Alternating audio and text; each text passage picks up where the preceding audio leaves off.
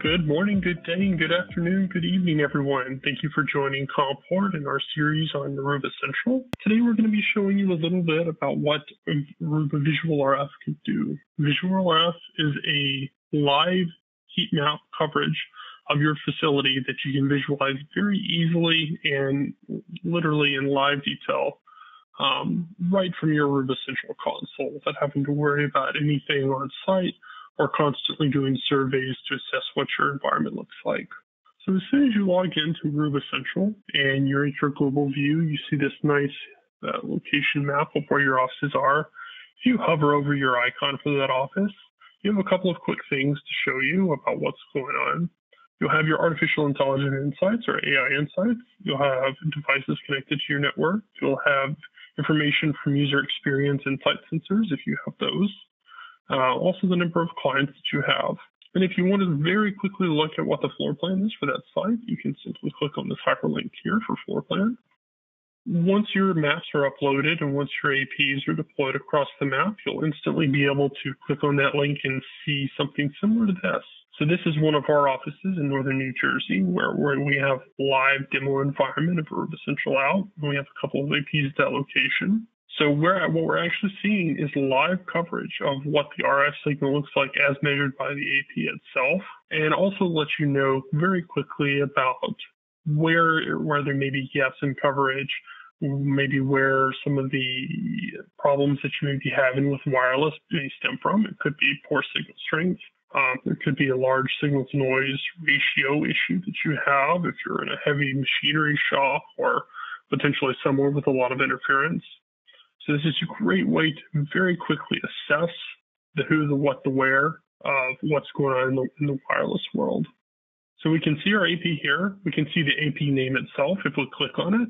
We can see the MAC address, the model, what the status is, the serial number.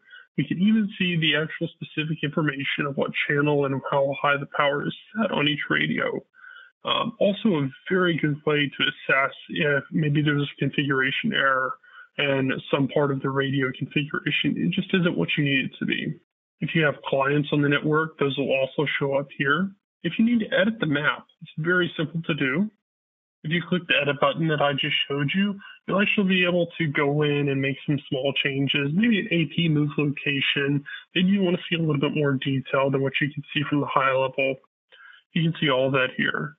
So if we zoom in to where the AP is placed, we can click on that we can see the properties of that AP, the name, all of the information in the radios that we already saw.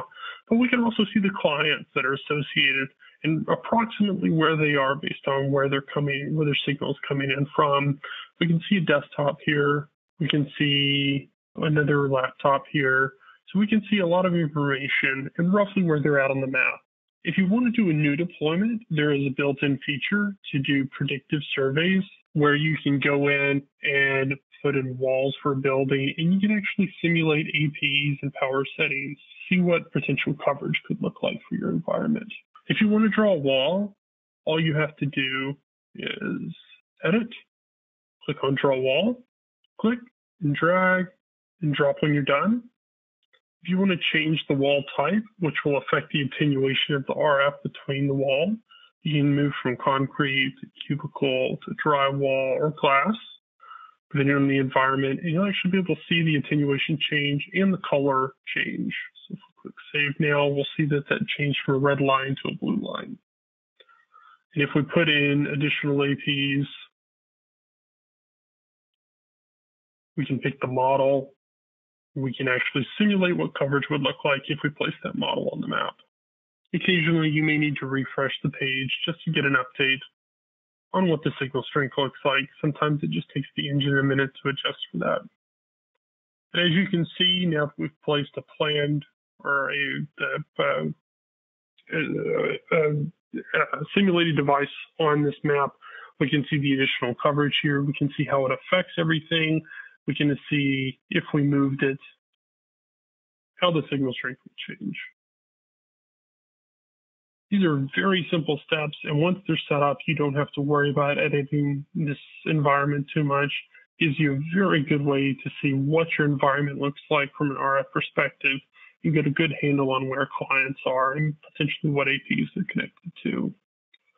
If you'd like to learn more about Visual RF and how it integrates with your environment Aruba Central, please go to www.comport.com and somebody from the organization will reach out to you for further information.